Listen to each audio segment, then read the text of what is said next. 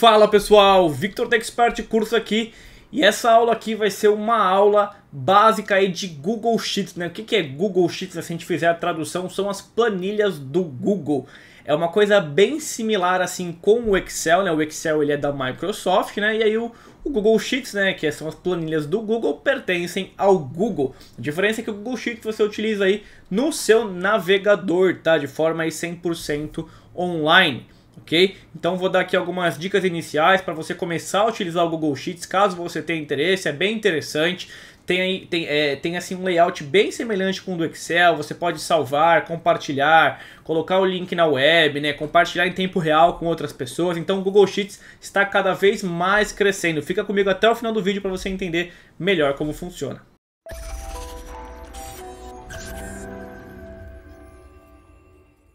Primeira coisa, caso você não saiba nem como acessar o Google Sheets, nós estamos aqui no Google, eu vou digitar o Google Sheets, é assim que se escreve, né? Sheets com dois Es, vou apertar o Enter, você pode colocar também planilhas do Google, vai aparecer aqui alguns links para você entrar, tá? Dá para entrar direto na planilha, ou dá para entrar aqui, ó, Google Sheets, né, online, né? Vão aparecer alguns links, todos eles você vai cair basicamente nessa tela aqui, que é a tela do Google Sheets.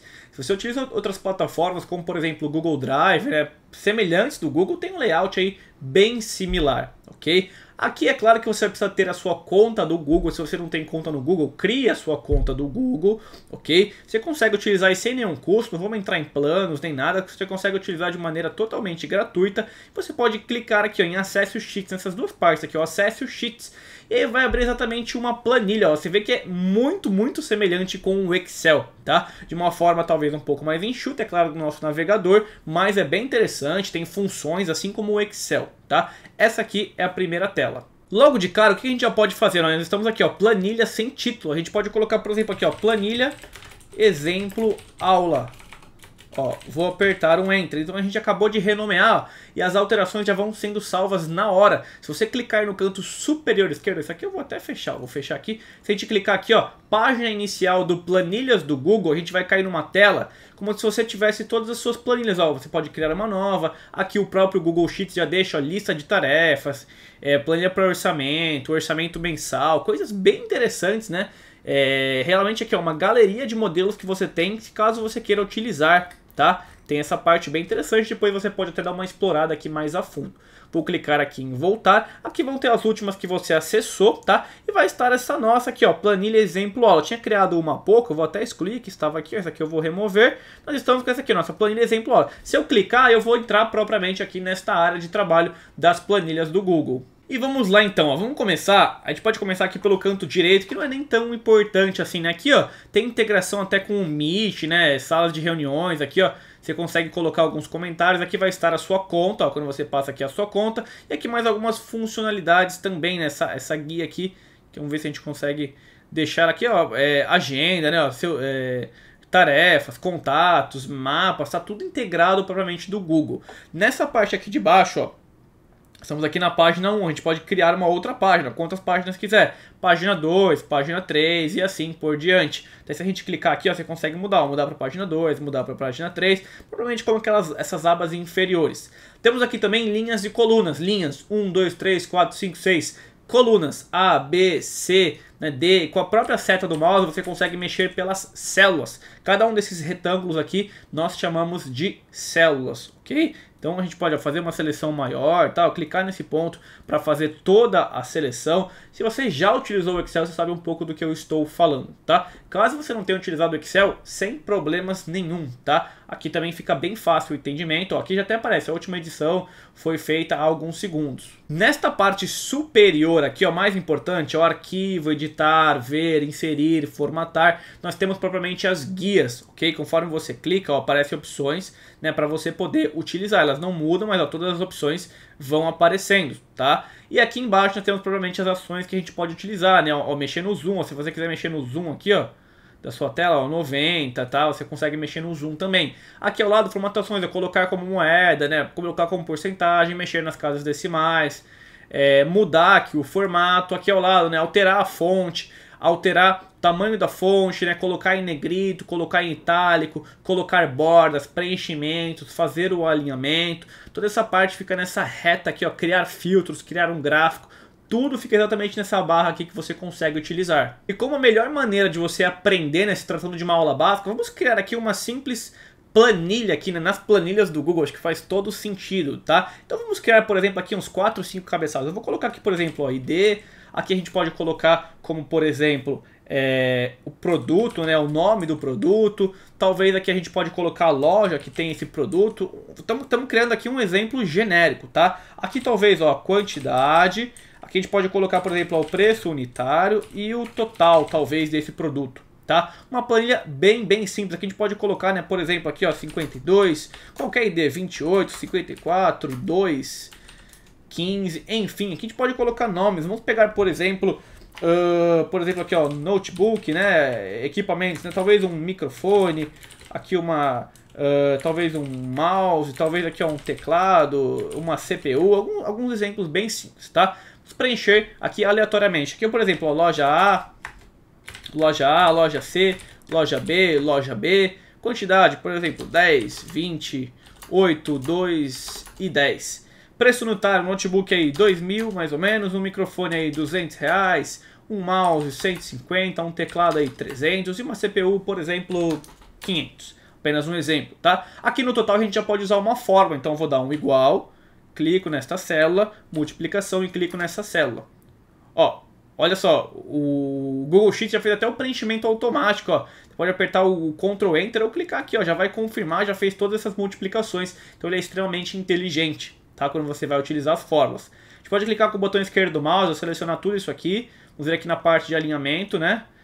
É, alinhar aqui horizontalmente ao centro. Vamos clicar aqui, ó, colocar todas as bordas, ó. Aqui tem várias opções de bordas, vou pegar essa aqui, ó, completa, tá? Colocar borda aqui em praticamente tudo. A gente pode mudar até o preenchimento aqui, ó. Vamos ver o preenchimento, colocar uma outra cor, talvez um azul, será que vai ficar interessante? Vamos selecionar tudo isso aqui, ó. A gente coloca um preenchimento na cor azul. E aqui a gente pode mudar, o, talvez, para cor branca. Ó, aqui faltou só o primeiro. Colocar na cor branca, tá? A gente pode selecionar tudo isso aqui, colocar talvez em negrito, talvez aumentar essa fonte aqui do cabeçalho para o 12, né? Ó, ficou um pouquinho grande, vamos ajustar talvez para o 11, já ficou interessante. Então aqui a gente entra um pouco mais na parte do design das planilhas do Google, tá? Você viu como apenas, acho que aqui em um minuto, dois minutos, né? Pensando rapidamente, a gente já criou. E a gente pode fazer modificações, como por exemplo aqui na quantidade, ó, eu posso selecionar isso aqui e posso alterar o formato, talvez, cadê aqui a parte uh, do formato, aqui ó, posso colocar como número para ficar uma coisa mais organizada, tá? Posso pegar aqui os preços, colocar como reais nessa parte aqui de moeda, já fica mais interessante, já fica uma planilha mais apresentável. Vamos a partir dessa situação agora criar um gráfico, tá? Tem várias opções, vamos supor que eu quero criar um gráfico aqui com os nomes do meu produto, tá? Com essa minha coluna B, talvez com a quantidade, né? Pode ser talvez um gráfico de estoque, né? Eu saber qual produto que eu tenho mais, para fazer algum controle de estoque, alguma coisa do tipo. Então vou selecionar toda a minha coluna B, tá pegando o cabeçalho, a linha 1, 2, 3, 4, 5 e 6. Vou segurar a tecla Ctrl, ó, vou segurar o Ctrl, vou selecionar também a minha coluna D, que é toda a minha quantidade, ó, já marcou tudo selecionado. Eu venho aqui na direita, tem essa parte aqui, ó, inserir gráfico, vou clicar aqui em inserir gráfico. Olha só, um gráfico que vai ser criado, vou clicar com o botão esquerdo, deixa eu só posicionar mais ou menos aqui, já vai ficar interessante, tá? visualização já ficou aí bacana.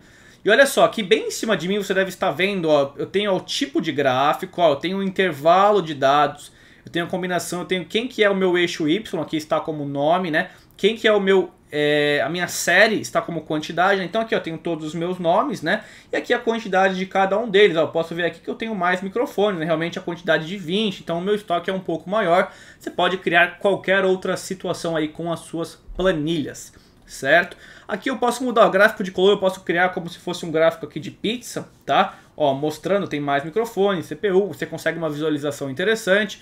Olha só, aqui também o gráfico é, de barras também, né? Só muda basicamente o posicionamento, né? Acho que esse aqui ficou bem interessante, ó. A gente pode vir até aqui em personalizar, ó, estilo do gráfico, ó, você consegue mudar o padrão normal, mudar mudar a cor da borda do gráfico, colocar uma outra cor, né? Ou deixar em branco, sem borda ó, maximizar, ó, aqui a gente pode colocar o 3D, tem várias variações que a gente pode fazer, tá? Vendo se fica interessante ou não. Olha só aqui, ó, gráfico de pizza, cor da borda, né, marcador da fatia, tudo isso você consegue até explorar um pouco mais de acordo com o seu gráfico. Olha só, fatia da pizza, ó, você consegue mudar a cor de cada um. O notebook está em azul, vamos supor que eu quero colocar é, num azul mais escuro, quase que um roxo, ó, consigo fazer alteração. Você consegue mudar todas as séries aqui, tá? E fazer essa alteração na cor também, ó, colocar a distância do centro, certo? Perfeito? E aqui, ó, título do gráfico, ó, está o nome aqui como quantidade, eu posso colocar, por exemplo, aqui no meu estoque. Supor que eu quero esse aqui é o meu estoque. Vou apertar o Enter, ó, o título do meu gráfico já foi alterado. Posso mudar a fonte, ó, posso colocar em negrito, fazer as alterações que eu quiser, certo? Apenas alguns minutos aqui nas, no, no, Google Sheets, nas planilhas do Google, do Google já desenvolvemos aqui esta nossa planilha e também já criamos um gráfico aqui bem rapidamente. O que nós poderíamos fazer aqui, né, para finalizar essa nossa aula básica, né, é, só para não deixar passar também as funções, tem várias funções que você pode usar, né, é, função soma, né, tem várias coisas, várias e várias coisas que você pode utilizar.